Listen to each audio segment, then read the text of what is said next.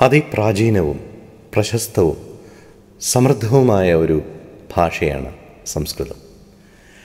ദേവഭാഷയായി കാണുന്ന സംസ്കൃതത്തെ സർവഭാഷകളുടെയും മാതാവായും കരുതപ്പെടുന്നു.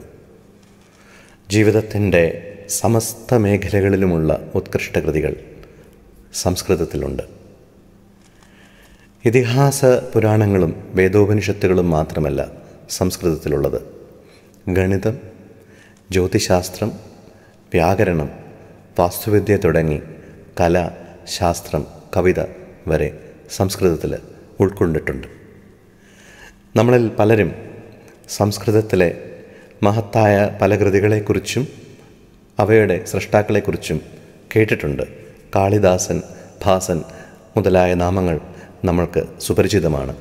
പക്ഷേ ഭാഷയുടെ പരിമിതി കൊണ്ട് നമ്മൾക്ക് പലപ്പോഴും അത് വായിച്ച് മനസ്സിലാക്കുവാൻ സാധിക്കാറില്ല. അതിനായി ഒരു പുതിയ ഒരു ഫ്രീ എഡ്യൂക്കേഷണൽ വെബ്സൈറ്റ് തുടങ്ങുന്നു. W W W dot റസാരസ dot org എന്ന് തുടങ്ങുന്ന ഈ ഫ്രീ വെബ്സൈറ്റിൽ ഇതൊരു എഡ്യൂക്കേഷണൽ വെബ്സൈറ്റാണ്.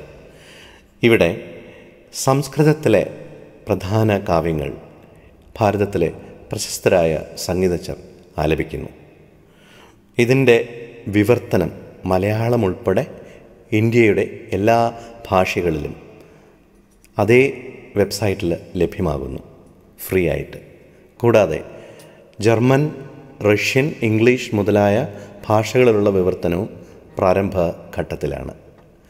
അമേരിക്കയിലെ മെംഫിസിൽ റിസർച്ച് സ്കോളറായ രമ്യ നേതൃത്വത്തിൽ നടക്കുന്ന ഈ ഉദ്യമത്തിന് എന്റെ എല്ലാ ഭാവുകങ്ങളും ഞാൻ നേരുന്നു.